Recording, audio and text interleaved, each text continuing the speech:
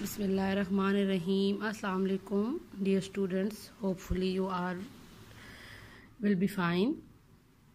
and safe at home today our topic is energy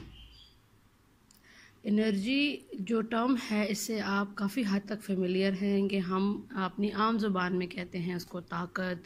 strength energy आपके पास अगर आप कोई काम कर सकते हैं it's mean you have energy तो इन फिज़िक्स हम यही कहते हैं कि अगर if a body has ability to do work then body will possess energy energy की बहुत सी एग्जांपल्स हम डेली लाइफ में देखते हैं. For example water running down the stream एक आबशार या नदी में बहता हुआ पानी है. इसके अलावा हम भागते हैं, हम डिफरेंट जो है वो उस उन चीज़ों से जो कि हम अपनी लाइफ में देखते हैं, वो एनर्जी की डिफरेंट टर्म्स में आती हैं। तो so if a body has ability to do work then the body will have energy और बेसिक डेफिनेशन क्या आएगी? A body possess energy if it is capable to do work okay बच्चों there are different forms of energy energy exist करती है हमारी life में different forms में. For example mechanical energy heat energy light energy sound electrical chemical nuclear energy and energy can be transform from one form to another कि हम energy को एक form से दूसरी फॉर्म में इजीली कन्वर्ट कर सकते हैं। तो मैकेनिकल एनर्जी की जो पहली जो टाइप है दैट इज़ मैकेनिकल एनर्जी और बच्चों there are basic two types of mechanical energy kinetic energy and potential energy okay next our topic is kinetic energy first of all we will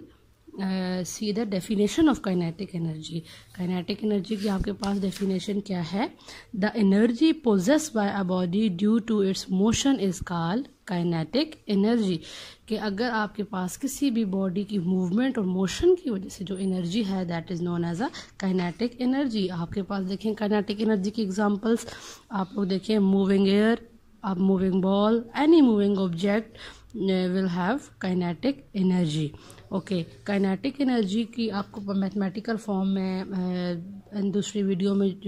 खुद prove करवाऊँगी। तो kinetic energy का जो relation है that is half M V square here M is a mass of a body V is a velocity of a body जितना mass increase होगा, जितना velocity increase होगी, उतनी ही आपके पास काइनेटिक और basically mass is a constant किसी भी जो आपके पास देखिए बॉडी का जो मैस है, वो हमने पढ़ा था दैट इज़ कांस्टेंट तो so kinetic energy whole depend upon the speed या वेलोसिटी जितनी कोई चीज़ तेज़ी से मूव करेगी देन काइनेटिक एनर्जी भी उसकी उतनी ही ज़्यादा होगी.